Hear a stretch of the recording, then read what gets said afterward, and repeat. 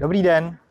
Spolek Automat se dlouhodobě věnuje situaci okolo zákazu vjezdu cyklistů do některých oblastí v Praze 1 a proto jsme se vydali sledovat, jak jsou tato opatření aplikována v ulicích na dopravním značení a v současné chvíli se nacházíme v Železné ulici ve vjezdu ze strany od Stavovského divadla.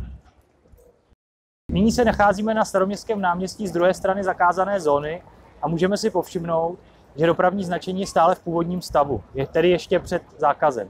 Objízdné trasy nově zakázaných oblastí mají být řešeny, podobně jako tady v Jungmanově ulici, cyklobou směrkami. Jiná místa, jako například Martinská ulice, která je pro objízdné trasy ohledně tady Zlatého kříže naprosto nezbytná, zatím opatřena cyklobou směrným provozem nebyla. V jiných místech, jako například tady u výjezdu z Charvátovy do Národní ulice, je zatím pouze připraveno značení, které má zajistit místo pro to, aby tady mohla být opatření ohledně zákazu aplikována. I přesto, že systém značení není stále dokončen a oficiální zdroje tvrdí, že systém opatření vejde v platnost až se svým plným dokončením, nejsou značky stále zakryty. To navozuje dojem, jako že už platí.